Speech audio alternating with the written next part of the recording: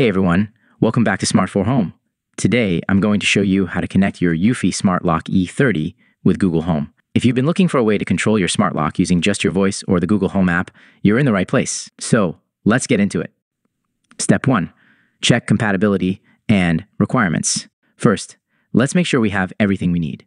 Your Eufy Smart Lock E30 needs to be set up and functioning through the Eufy Security app.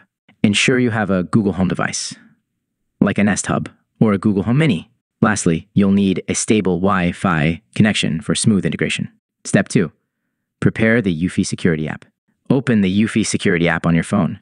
Check to see that your Eufy Smart Lock E30 is listed under your devices and is working properly. Once confirmed, you're ready to move on to the next step. Step 3. Set up Eufy account integration. Now, let's prepare for Google Home integration. You'll need to link your Eufy account to Google Home. Here's how. Open the Google Home app on your smartphone. Tap the icon in the top left corner. Choose Set up device and then select Works with Google. In the search bar, type Eufy Security and tap on it when it appears. You'll be asked to log in using your Eufy account credentials. Enter your details and allow the integration. Make sure you're using the same account you used to set up your Eufy Smart Lock E30.